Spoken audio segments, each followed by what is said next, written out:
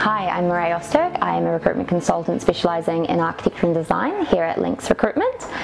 A little bit about me. I started off as a graduate um, architect after completing my studies and working in the industry for a period of years.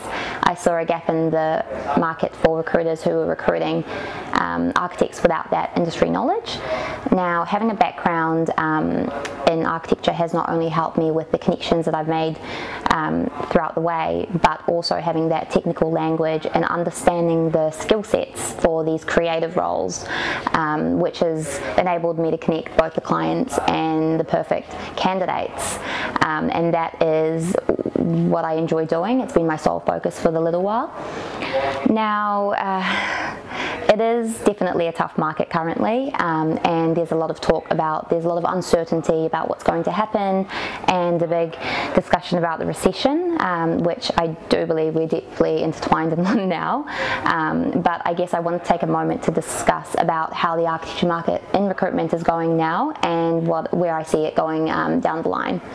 So first thing I think I should touch on is a lot of projects have been put on hold, um, more so in the residential market. Now with the economic uncertainty um, in the market and the talk of a looming recession heading our way, um, I just wanted to touch on a couple of things that I've seen recently within the architecture um, market and how I think it's going to go.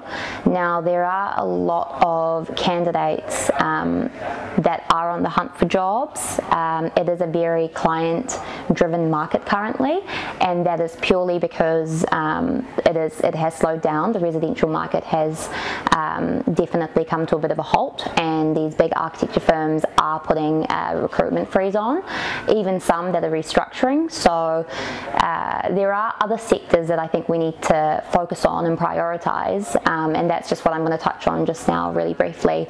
So as I mentioned the residential market uh, jobs are being put on hold. I think it's just people are a little bit nervous um, because it's uncertain times, elections coming, um, but the residential government funded jobs, educational jobs and projects are still uh, going pretty steady.